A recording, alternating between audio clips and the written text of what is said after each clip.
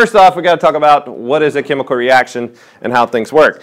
Uh, I'm going to tell you, if you are a cook or if you like to cook, this is going to be easy for you because you already get an idea of how things work. you like to eat. Uh, but uh, anyway, so if you do like to cook, this is going to be good. But first off, let's break things down a little bit. What is a chemical reaction? Uh, a chemical reaction or a change is basically where we take substances and we turn them into new substances. However, we don't change the elements.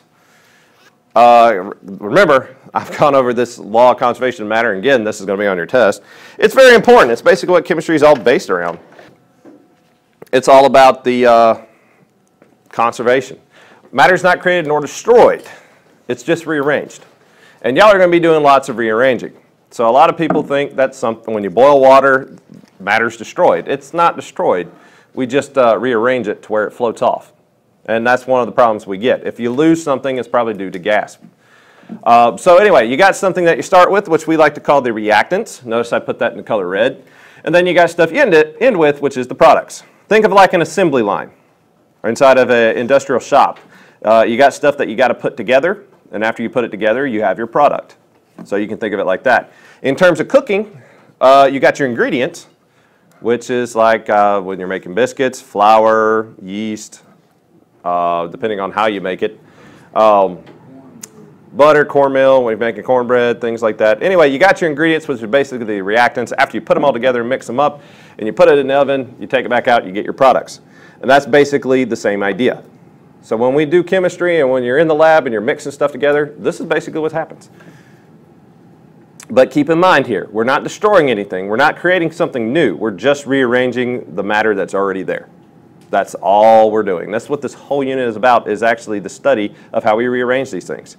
Why do they want to be with another element? Why not be with the, just anybody? There are rules to actually follow.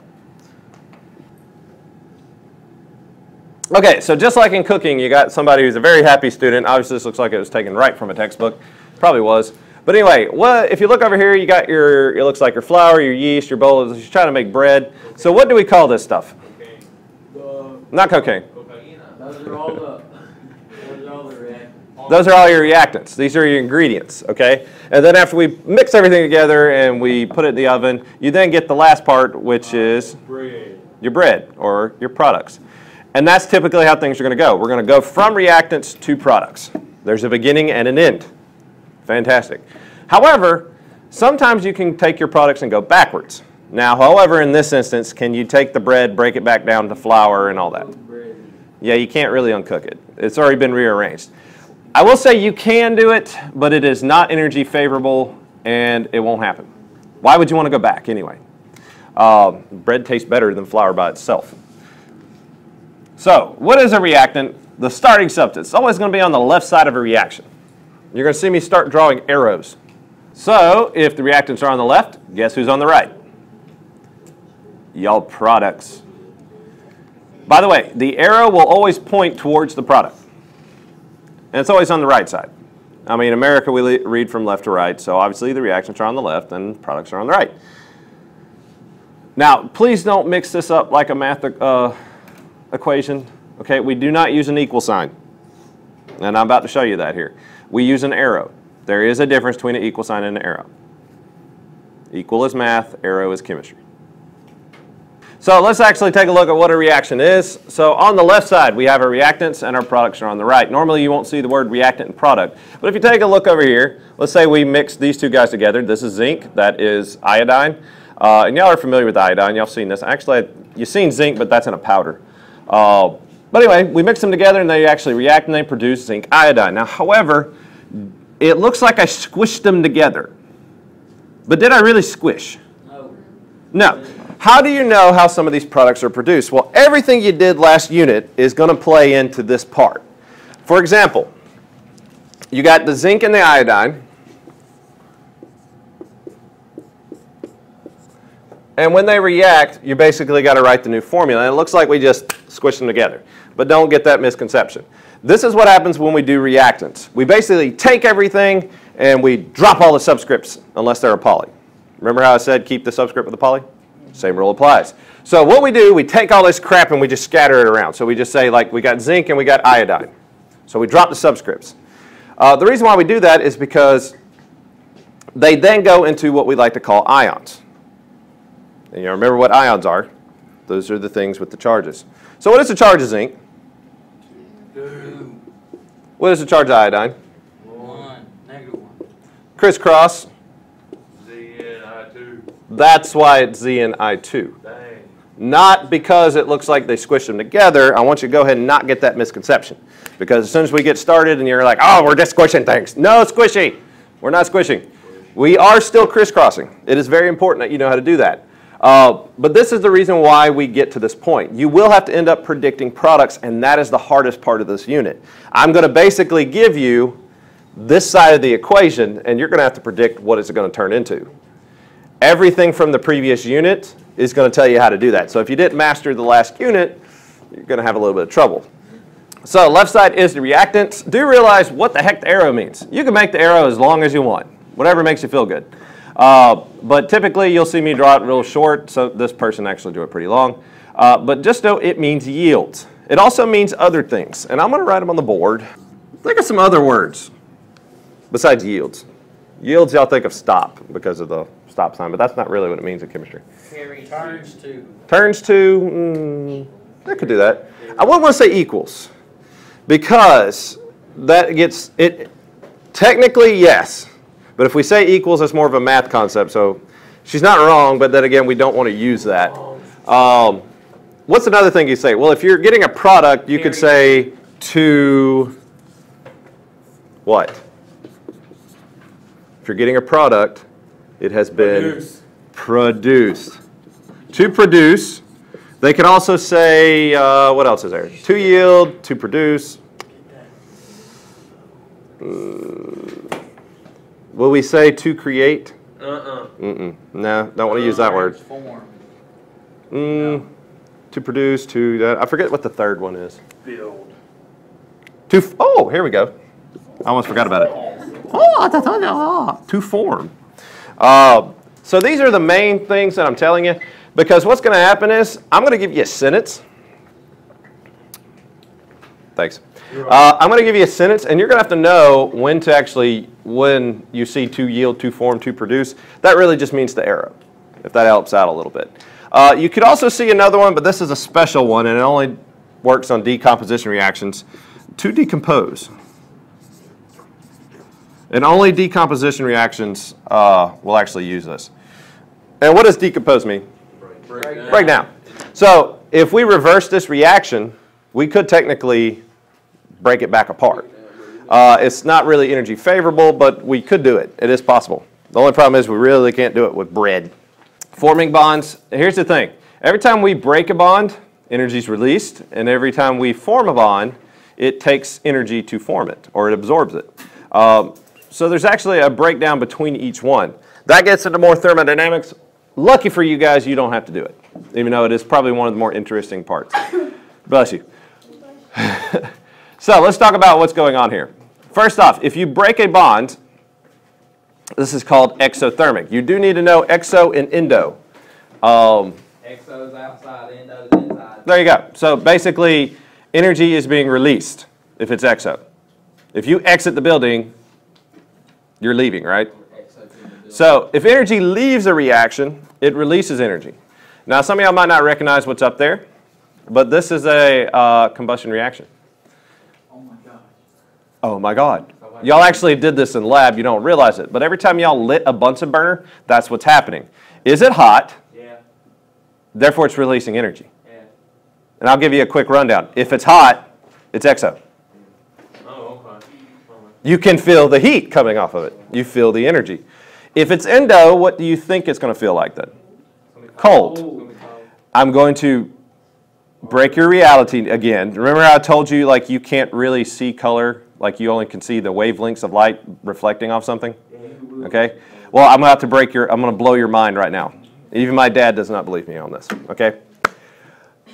There is no such thing as cold. False. Is what? Cold does not exist. I'm in a cold. Okay? For example, okay? If I turn off the light, it then becomes what? Black. Dark. Dark is basically the absence of light. So cold is Okay. So cold is the absence of energy. So in reality, when you feel something cold, that's the lack of energy.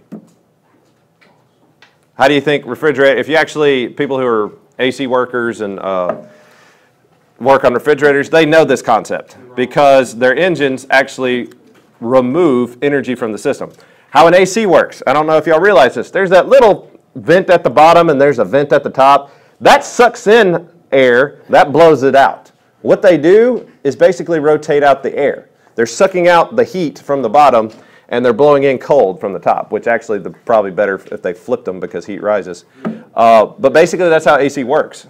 It's actually in the same way your refrigerator works. Same thing how your car works. It's basically sucking out hot air and blowing in cooler air. Anyway, do you see that little blue line? This is called activation energy.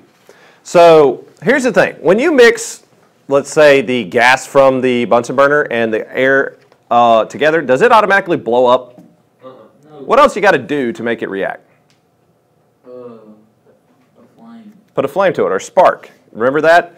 Um, so basically, that spark is the activation energy.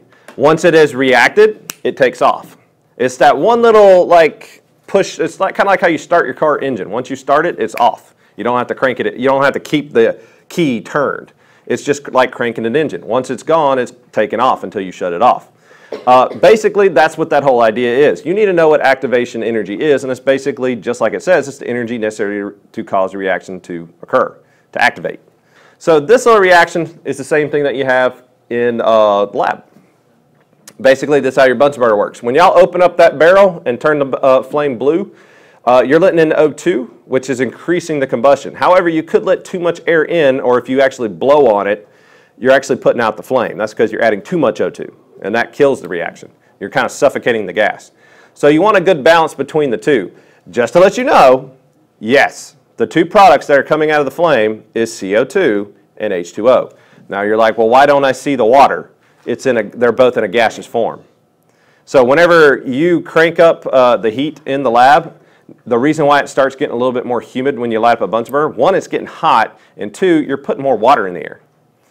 You might notice you start ha- it gets a little bit more humid in there. Endothermic is vice versa. Notice the sides have flip-flopped. We can take those two products and reverse the reaction. There, excuse me. There's only one way to do that, and it's not through uh, setting things on fire.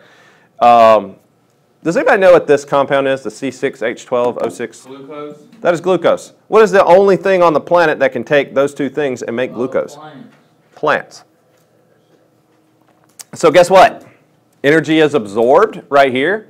Basically, plants are the only thing on the planet that naturally that can actually absorb energy from our sun and turn it to something useful. Stored the bond in the bonds of the glucose molecule or sucrose, depending on what you're eating, or fructose and all that other kind of stuff. Uh, this is also basically what we call photosynthesis. That whole reaction I just showed you, that's an endothermic. What do plants drink? Coke. That was ironic. Uh, no, they don't drink Coke. They also don't drink electrolytes uh, from that movie. It's on the board right here.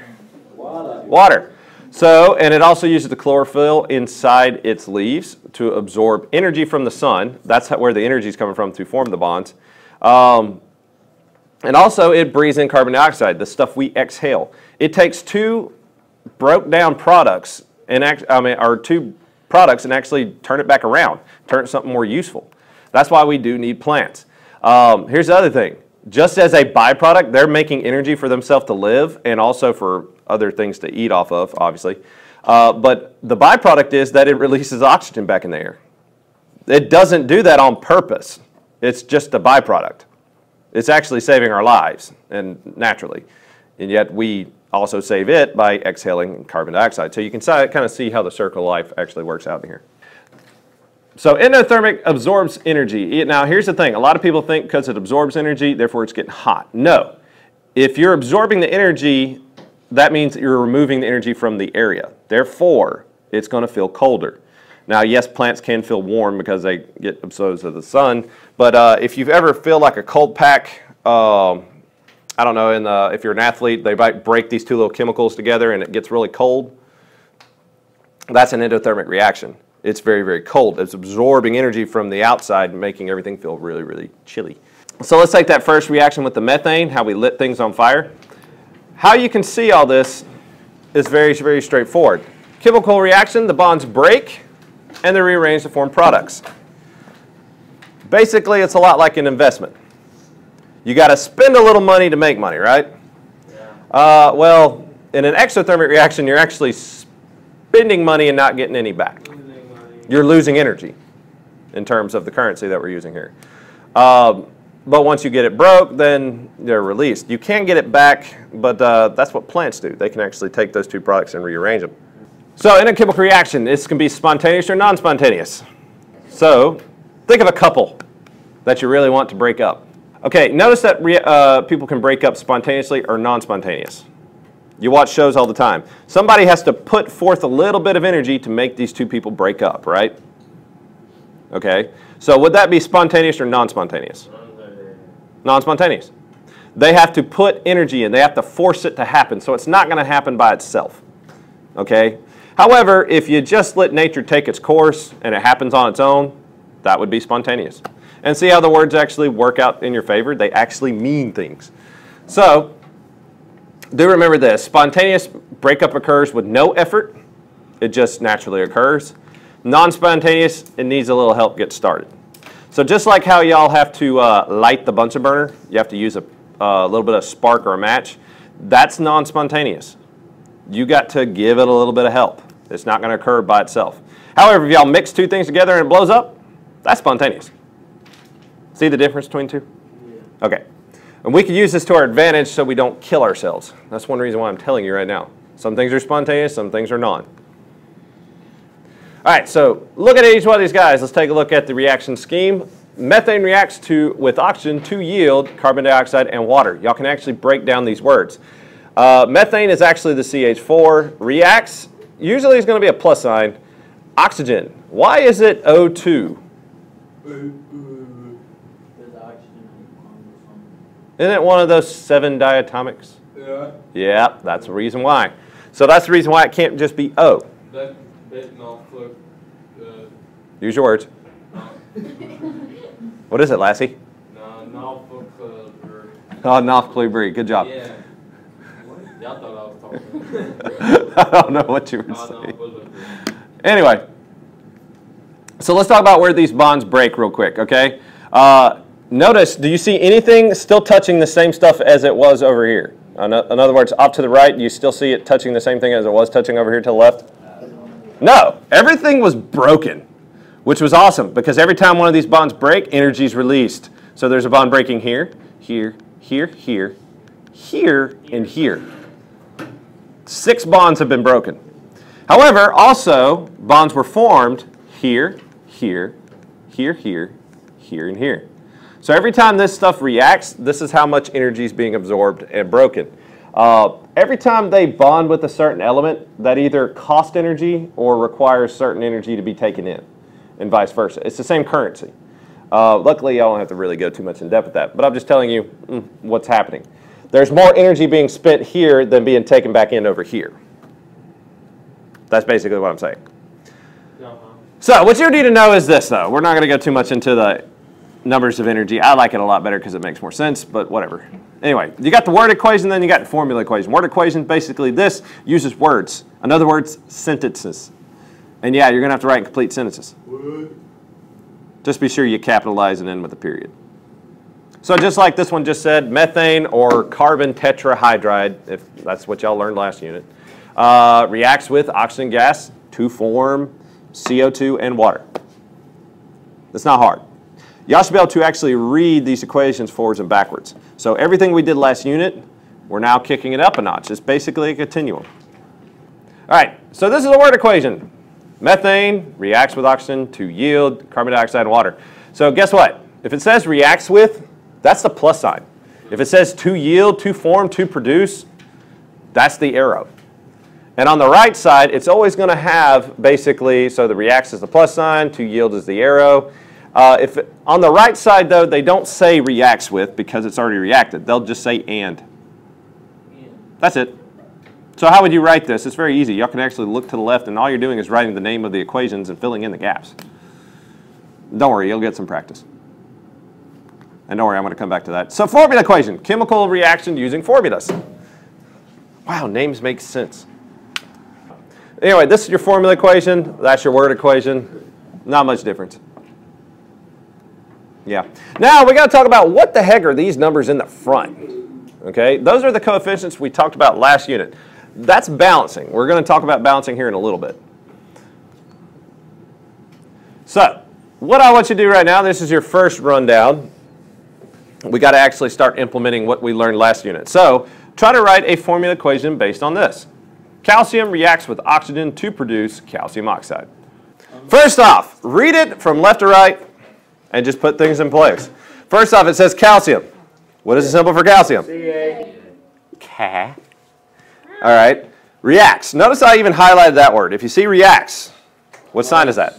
Plus. Plus sign. With oxygen. Now, O2.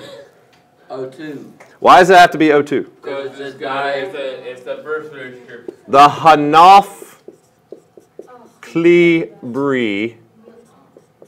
Don't forget those seven diatomics. Okay. So here's the thing. Shh, listen. So if you see the word oxygen, that really means O2. It does not mean O. Be careful. If you see, if I said hydrogen and just hydrogen and nothing else, H2. If I said nitrogen, N2. That's what I mean by that. So don't forget about these seven. We talked about them back in unit two or three, one of the two. I think it was three. Um, I think it was, we both did periodic table during that time. I think it was unit three. Um, but anyway, I rewrote them up here just in case. So if you do see these guys by themselves, they have to get a subscript of 2. However, if they're already bonded, they don't. You just bond them together. So after oxygen comes to produce, all right, and calcium oxide. So a lot of people, though, are just going to write Ca and O, Ca. which is hypothetically correct. However, uh, don't do that. Do not just squish. You need to crisscross charges. Anytime you see a compound, you got to crisscross the charges. That's where everything from the previous unit came to place. Yeah, so happen it is going to end up being CaO, but you need to know why. And this is the part where people get messed up on the, uh, the test. They forget everything from Unit 4. They just throw it out the way. So when you do crisscross, it does end up being Ca2O2, but do realize that not every compound is going to come out like that. Okay, so there we go. However, like I said, on the product side, do not forget the charges. I guarantee people are going to have trouble with that. Um, but anyway, yep, there you go. However, you'll notice there's an issue here. How many calciums you got over here? How many calciums? How many oxygens? How many oxygens? We'll have to get back to the balancing part. Remember those little whole number, uh, whole coefficients that we were talking about? That right there? Oh. That's how you fix that. We're going to do the balancing here in a little bit. Uh, keep that one off to the side. We'll come back and balance it. If you already balanced it, good for you. Uh, if you haven't yet, we'll come back to it. Right now, let's do the next one. All right, so how to do this one? Obviously, I kind of kept it in order, but by the way, you just can't write silver nitrate. Uh, luckily, though, their charges are the same. So anytime you see a compound, don't forget to be sure you crisscross the charges. That should be a rhythm by now. Charge of silver. Plus one. Charge of nitrate. Not plus one. Negative one.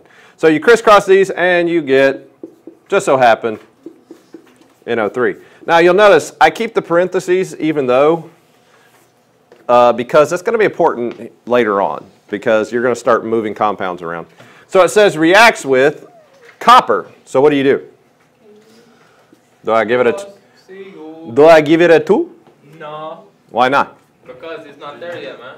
Not there. We're not there. All right. We let the worm back in the van. He ain't gonna bother nobody. All right. Um, sorry. There's a skit about that. Uh, two form uh, copper 2 nitrate. So here's the problem though. You got to crisscross the charges. A lot of y'all are just going to start skipping that step. Don't skip. So when you get the new formula, you should get CuNO3 with uh, 2 on the outside. Two. 2. All right, and silver. Silver. AG, man. Does it get a 2? Nope. Man. That's it.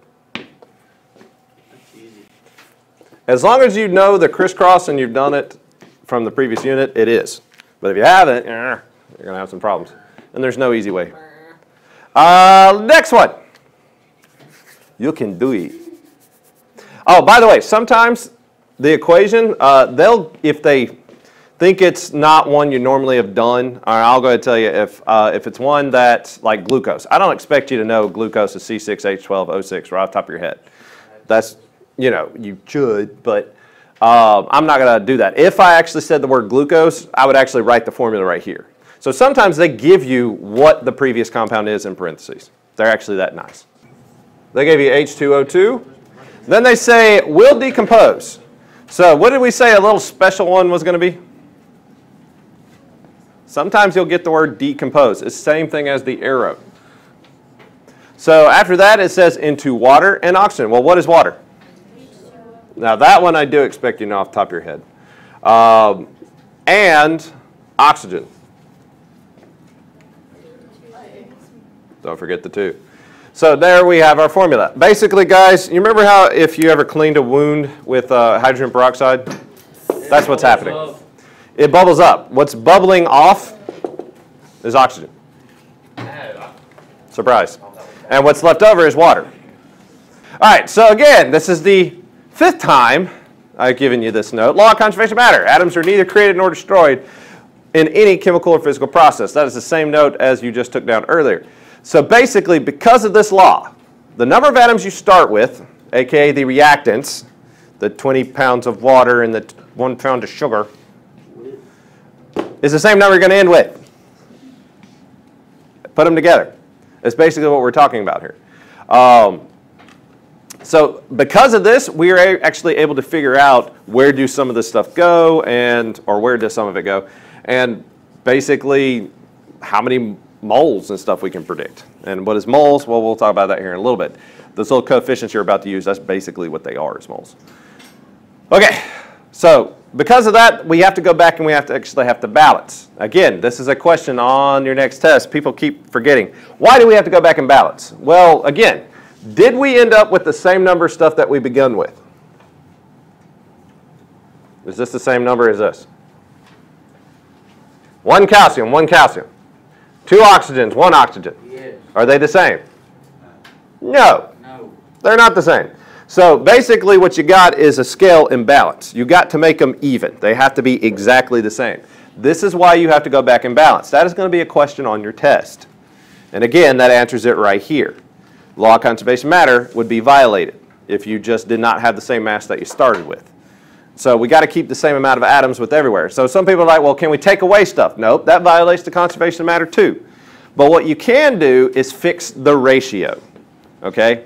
So you remember how basically you got a ratio right here that's unbalanced? We want to make them equal. So in other words, we got to make the, both these sides the same. And if you actually heard anything I just said, then you got it. In front of the compounds, you need to balance the reaction. You may not change the subscripts. You may not change the subscripts. You may not change the subscripts. Change the subscript. You can't change the subscripts. Yeah, you can. In other words, you can't change this. Maybe you can. Why? Because you already crisscrossed the charges. That's how they react. You can't change the subscripts. Okay? You're like, well, wait a minute. I did that over here. No, you fixed the ratio of how they reacted. That has to happen. You can't change that. So when you go back and balance, you can't start removing things. You can't start adding subscripts. But you can do only one thing. You can take the coefficient that goes in the front and balance it out. That is the only rules that you can do. So basically, there's a gap in front of each one of these guys. You can double them, triple them, quadruple them as many times as you like. There's no end to anything there. You're not changing the state of matter, you're balancing out the recipe. Okay? So for example, if I make biscuits, and I just said uh, I'll take one cup of sugar, one cup of flour, one cup of butter, one cup of whatever, and mix them all together, th- that's not going to really work, right? No. No, some of y'all know what I'm talking about, baking, right? It's like one cup and one cup and one cup. That's not right. No. You need more flour than you need sugar. Yeah. You need more everything else. That's a recipe. What you're doing here when you balance an equation is you're actually fixing the recipe. You're making the recipe balance out. And that's basically the whole breakdown. That's one reason why I said cooking makes it a lot easier. So do not change the subscripts. But you can change how much of each stuff you need to balance it out. Um, and we already did all about the balancing part. So what are coefficients? Uh, just like in math class, they're the whole numbers you place in the front. That's it. So what you can do is basically go back through and figure out this whole little balancing scheme. Um, again, you can put whatever number you want in the front. However, it must be the lowest number ratio. If you balance something and it's over twice as much or three times as much as you need, you're going to have to go back and actually chop it down. In other words, reduce to the lowest number ratio. And that's what we're going to actually about to do up here. So, basically know this. The reactants are on your left and products are on your right. We're going to talk about what the S and the G and the S is all, all later. Uh, basically, that tells you the state of matter. I mean, that's really it. I've actually, I kind of just told you. Uh, S is for solid, G is for gas, L is for liquid. There'll always be real tiny stuff off to the right. Uh, that just tells you what kind of state of matter they're coming in. Basically, though, we really are caring about these whole numbers in front. That little ratio, we got to balance it out. For example, take a look at this aluminum. How many aluminums do you see over here? Four, okay. How many do you see over here? You see two, but what about this?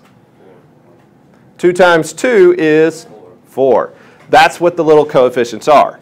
It's basically distributing the property amongst the subscripts. So how many oxygens do I have off to the left here? I have 3 times 2? 6. And 2 times 3? Same, same, right? If I did not have those coefficients, so what? So if I did not have those green numbers in front, or those coefficients, it would be unbalanced. And you can't have that. Again, that then violates the law of conservation of matter. It has to have the same number you started with as the same number you end with. That's how we make up for those charges uh, when we mix and match stuff. Sometimes it comes out perfectly even like the very first note you did with the zinc and the iodine. That's just, you know, that happens maybe 10% of the time. Most of the time you're going to have to do this crap. So anyway, let's go back to these little reactions. Why do I call it rest in peace? Well, it looks like that. Kind of looks like a tombstone. Anyway, so I'm going to do it the short way really fast, and I'm going to do it the long way, show you how I did it. First off, look over here. You got two oxygens over here, and you got one over here. So what prefix could you put in here, or what coefficient could you put here that would distribute it to make it 2? 2. 2 times 1 is 2. If you put a 1 here, there's already 1. 1 times 1 is 1. So you want to put a 2 here, 2 times 1, 2 calciums, now 2 times 2, 2 oxygens. Now here's the thing. Can we put a number in between this guy? Nope. No. You can only do it in front of whole number ratios that you see up here. I'll see some people try to squeeze a number right in between the compounds here. Can't do that. They're conjoined. They're like conjoined twins. You can't break them apart. So don't try. However, you did get two oxygens, but now what's unbalanced? Your calcium. Well, what could you put here to make it two? That's it. You can put a 1 here if you like, but we don't usually like writing the number 1. So how do I do this method dealing with the polys? I still keep the polys all together. Now here's the thing. You can only do this little trick. Now some of y'all probably would separate them. Like, here, okay, here's all my nitrogens, here's all my oxygens. If you see the poly over here and over here, and they're exactly the same, NO3, NO3, you can group them together, and that makes less work on you. Um, that's how I actually end up learning the whole polys, was basically by knowing that little rule. Uh, but that was kind of too late by that time. Bless you. All right, so we got a silver, we got nitrate, and we got a copper. How many silvers do we have on the left? One. How many nitrates? One. And how many coppers? One. One All right, look on your right. How many coppers? One. One. How many nitrates? Two. Two. Does everybody see why that's two?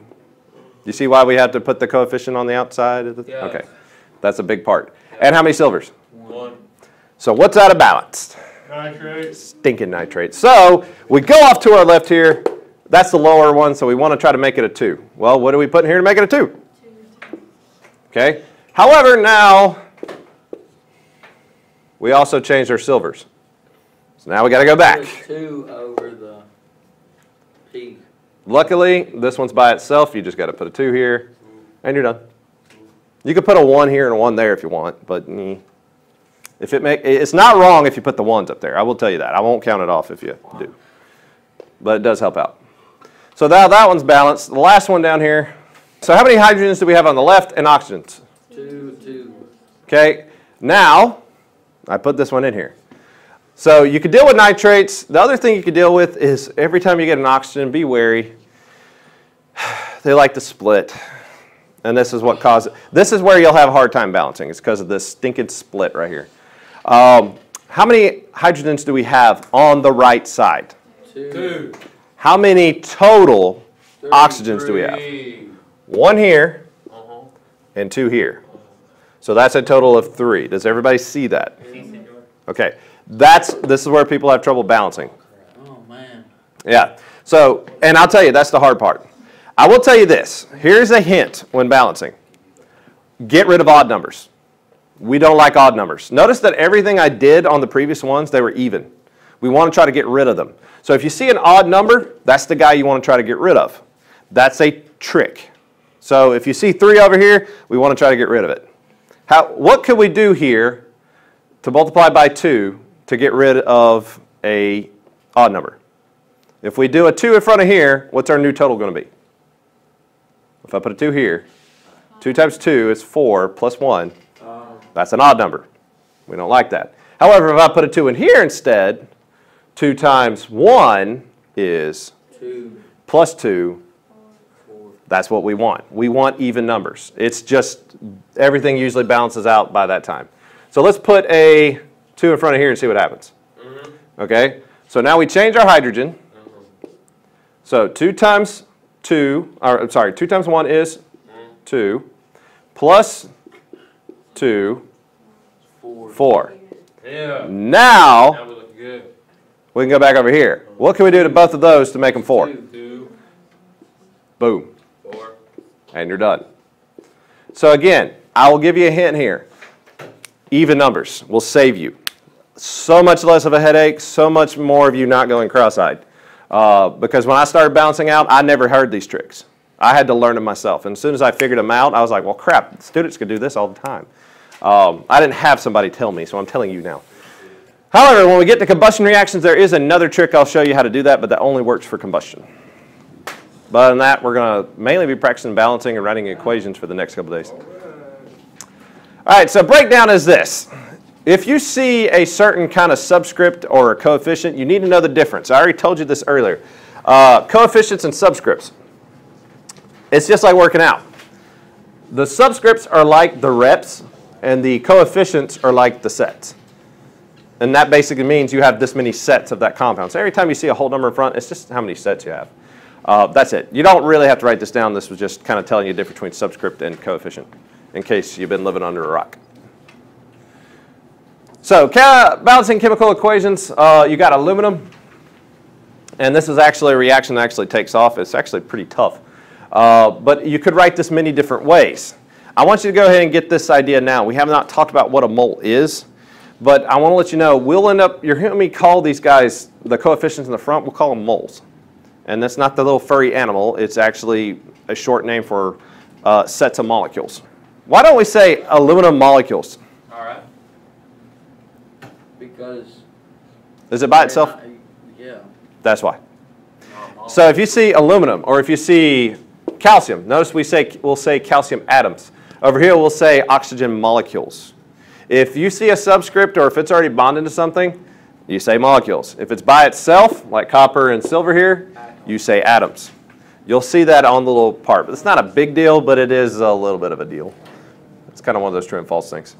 All right, last little thing to be sure you write down before we pick this up a little bit more tomorrow. Uh, breakdown of the arrow, if you have not wrote down what I wrote on the side of the board, to yield basically means to produce, to form, or to decompose, but you only see decompose in breakdown of reactions. Um, be sure you know the difference between what's on the left and what's on the right, and that's really the main thing. That is a A plus sign. They don't say A T sign, it's A plus sign. Uh, the plus sign does separate between the compounds. The arrow also does too. Luckily on this one, you don't have to balance because there is one carbon, one carbon, two oxygens, two oxygens. Um, do not write the word plus down. They wrote plus, but I'm going to tell you don't write plus because then you'll be tempted to write the equal word, and that's not good.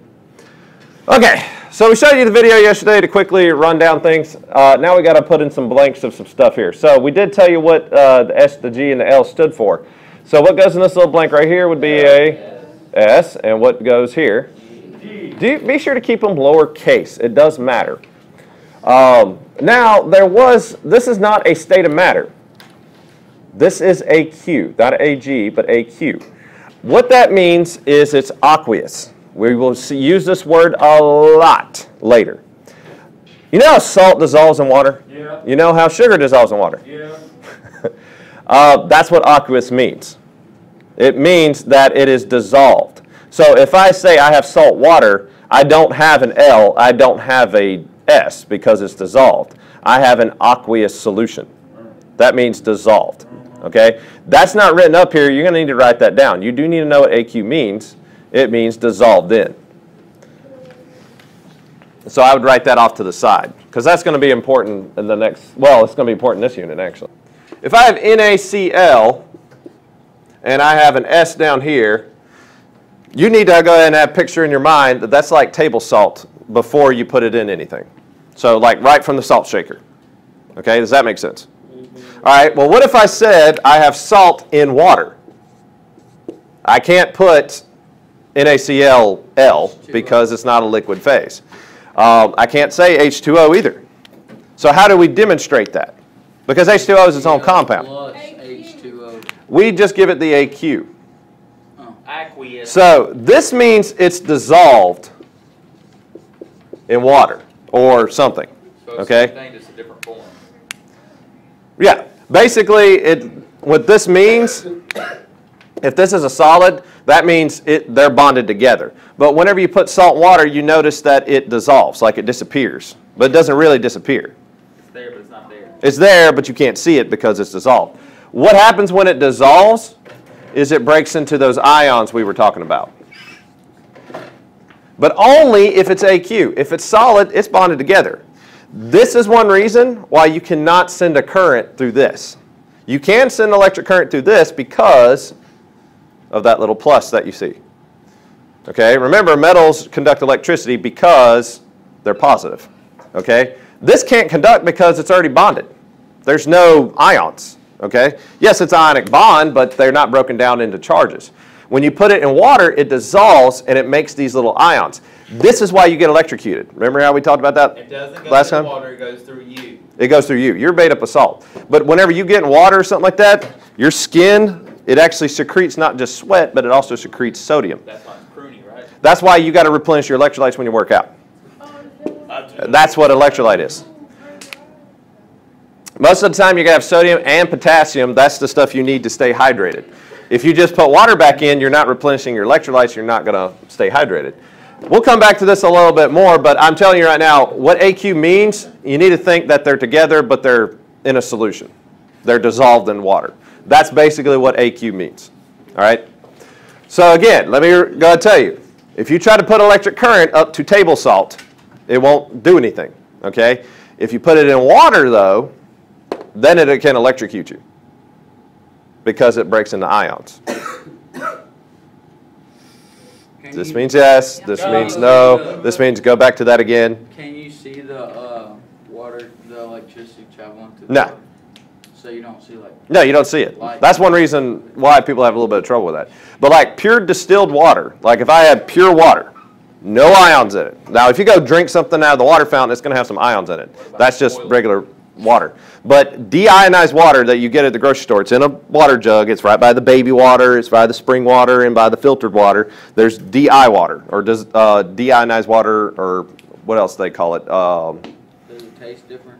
You don't drink it. It's really used for ironing and things like that because it has no minerals in it. It's just water. You're, if you drink that, it actually dehydrates you more because it's pulling out your ions. Why you can drink water from the fountain is because it already has ions in it, and it's not going to pull that from your body. It's actually helping replenish some of that stuff. That's why they say, athletes, they say drink uh, Gatorade. Gatorade isn't just water, it has potassium and sodium in it. It's to keep you rehydrated.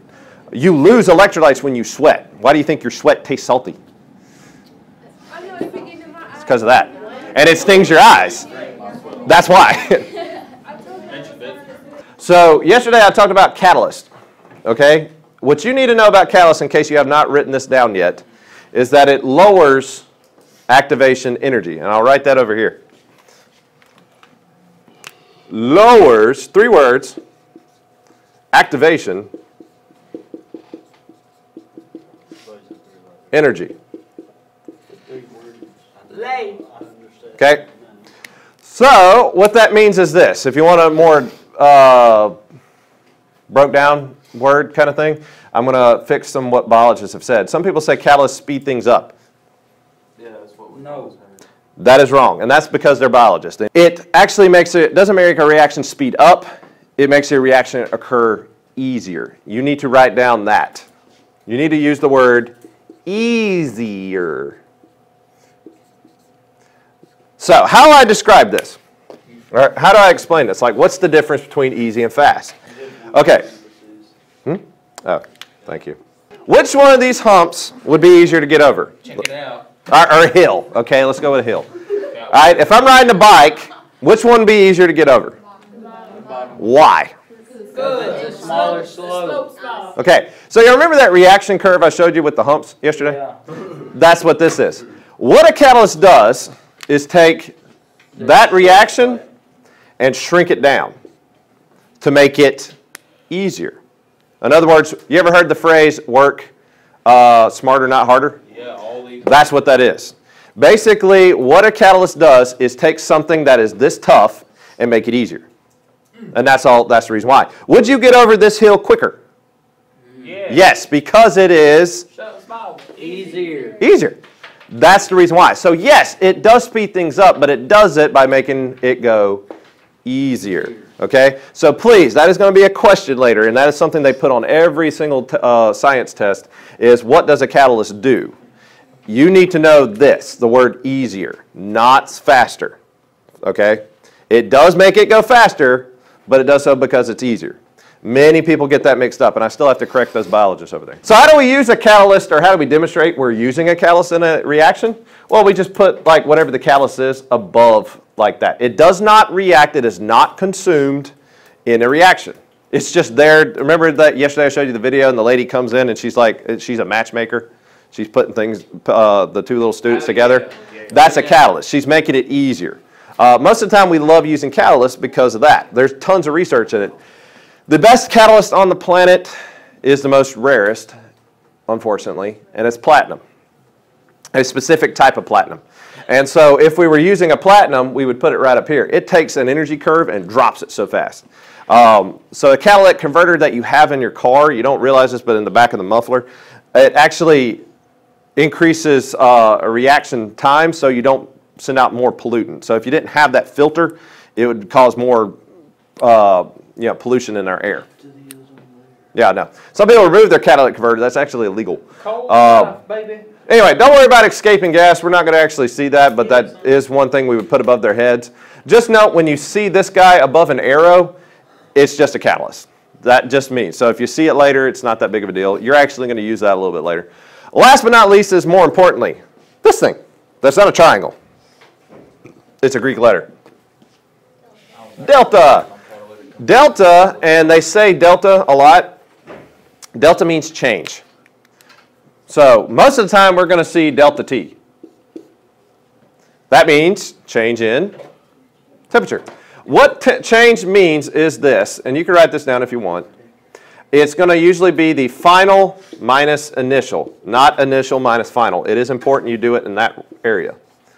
Final minus initial. You know how, uh, I mean, you want to take your ending thing and subtract it from the top part. One reason why, you want to get rid of a negative. That's the only reason why. They would do it the other way, but then you have a negative. What are you going to do? But that's all you really got to know for that. We'll do delta a lot. Most of the time, we're going to be adding heat to it. So in lab, what you're going to end up doing is you're going to be heating up some stuff. You're going to be using the delta sign above, uh, and most of the time we'll use that above like the arrow. So above the little reaction arrow, this means that you used heat. You put it up to some fire. That's all it means. You might want to write that down in case that didn't sink in, in case you're confused. Got it. Yeah. All right. So, real quick, there's one little trick I'm going to show y'all. Um, I keep telling y'all some tricks, and I went over like three of them yesterday in the book, uh, in the notes. And that actually broke down what to do when you get with polys and things like that. Like for example, you notice there are polys right here. Uh, if they're the same on each side, whenever you're balancing, you can group them together. And if you, yeah, well, if they're not, then you can't really do it. Uh, there was one more little trick I wanted to go over, and it's when dealing with uh, ones kind of like number eight and this one right here. You will end up with problems like this, but I didn't want y'all to, you didn't have to do this one, but I want to show you a little trick to quickly kind of do it. There is an order to go in every time you see these guys. Now, keep in mind, this is a special type of reaction. Uh, you're going to end up with one of these called, and they're usually called combustion. This one is not a combustion, but if it was flipped around, it would be. And how to deal with these, they're very hard to balance. You remember the one yesterday where you had the split oxygens and it caused you have to try to figure out which one to balance first? Um, that's the kind you're going to run into. So both of the, this one right here is a combustion, and sometimes they balance out really easy. But the bigger these carbons get, the harder it is to balance because then you usually have to go back and erase and do some other kind of stuff. Um, but what I, the hint I'm going to start out with giving you here is this. Every time you see a carbon, a uh, hydrogen, and an oxygen, only those in a group, chances are you may have a combustion reaction, about 99% of the time. Uh, sometimes they'll be flip-flop. How to deal with these guys, there is a little trick to actually do. Uh, I'm going to briefly introduce you to it today, and then we're actually going to pick it up a little bit more later. Uh, because I can't really go over it much until we talk about what the heck a combustion reaction is. And we haven't even talked about that yet. But here's my advice, okay? every time you come to one of these guys, balance out your carbons first and your hydrogens. Now, make you a little side note here. Carbon and hydrogen first. So anytime you see a carbon, hydrogen, oxygen kind of setup, follow this little trick and it'll save you a headache. Now, these were not that bad but they could potentially get worse. So I'm kind of giving you help first. So number one, I would balance out the carbons and hydrogens first. The reason why I say balance out your oxygens last